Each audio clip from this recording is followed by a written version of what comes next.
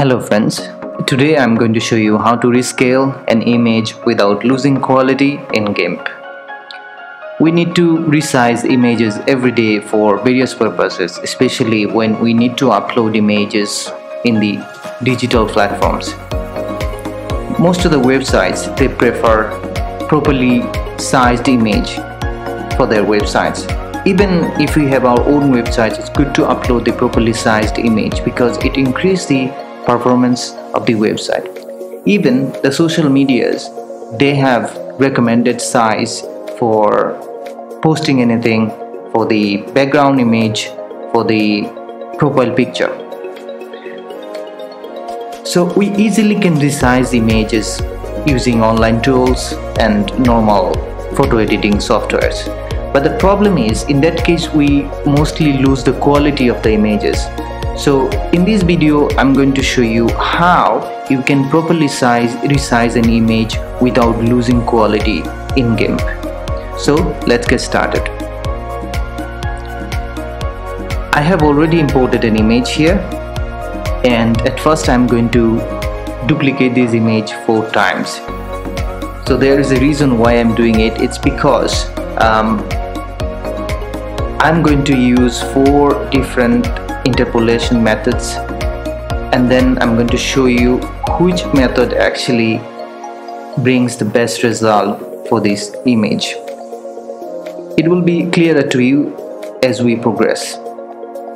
So let's duplicate this image four times by using shortcut command D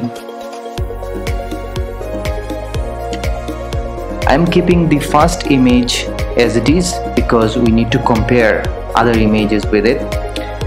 So I'm going to select the second uh, image and then going to image here and then scale image.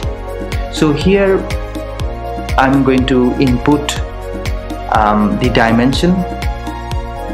I'm randomly giving 1500 which is way lower than what it is now and then that is going to be changed rationally because um, this thing has been selected. But if you want any customized um, dimension to put here then just deselect uh, this thing so that you know it won't be changed um, regionally and at the same time you can also work with the resolution uh, but I'm not doing it now.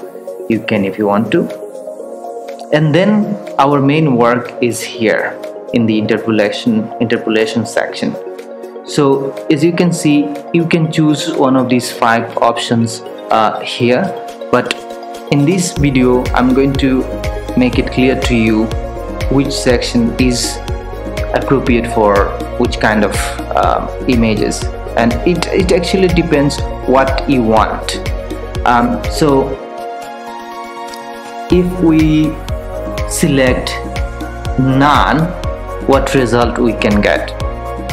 Well no interpolation is used when you select none. Pixels are simply enlarged or removed as they are when zooming. This is how it works. Therefore it doesn't bring any result. So actually we are going to use four of these options one by one. So at first I'm going to select linear. So let me tell you something about linear. This method is good compromise between speed and quality. However it produces fairly good result of the images. Linear has been selected. And now clicking on the scale option here then it has been scaled. I am zooming this image to 100% so that it will be easier to understand what is happening here. And then the next image. I'm going to image again from there scale image and then I'm giving the same number um, here so that it will be easier to understand exactly the changes uh, in each image um, and then now I'm going to select cubic. So this method produces best result although it takes a lot of time. And I personally recommend um, using this option most of the time.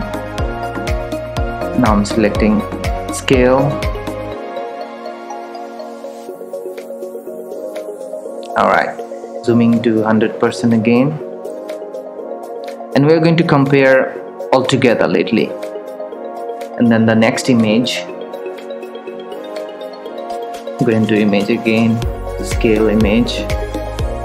1500 now I'm selecting no halo so no halo it is actually good when you do not reduce the size much. Scale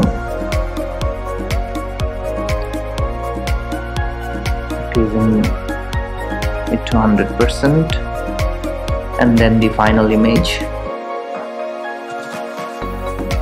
Scale 1500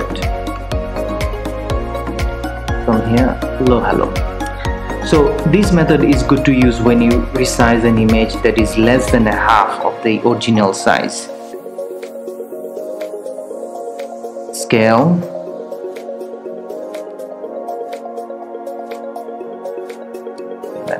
increasing it to 100%. Alright, so we have um, done editing. So now we are going to compare to see which image is best. I mean which option is best for this particular image. Let's see. The first one. And uh, okay let's have a look the fine I mean the unedited version of it. I'm zooming it a bit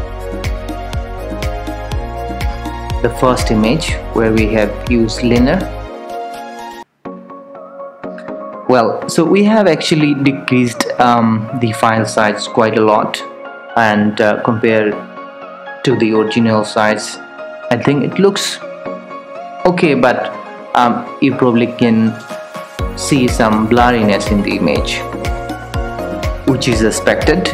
Um, so this particular method um, is faster of course and it's good to use also when you have text in the images. So make sure that you use this method when you have text in the images and if you want to um, make it faster. And also if you don't decrease too much the file size then probably you can go with it too. So now I'm moving to the um, cubic. So compared to the previous one you can see some you know bit sharpness in this image look at let's look at the um, unedited one and the cubic one. There is not much um, change I can see personally um, as far as the file size is concerned because we have decreased quite a lot in, in this for this image. So let's move into the next one in this image I think um, it is it is okay but um, there is some issues here and that is blurriness. Um, a bit blurriness you can see compared to the this one. If you don't look at carefully you would not probably see much much difference but um, clearly I can see some differences here. So the final one um, it is more or less same with the previous one I mean no halo one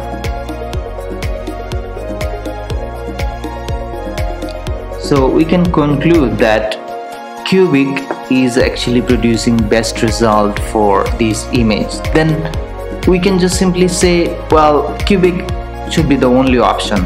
But I think, you know, it's not the way to describe actually because each option has um, different work for each images. Therefore, uh, if you are not clear about the um, uh, I mean if you are not clear how it works then I would recommend use four of these options for your image and then see how it works and you can go with the best result otherwise um, you know you, you, need to read the instruction carefully and select the category um, as, as it goes with each image.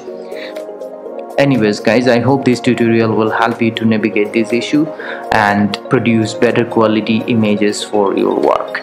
So thank you for watching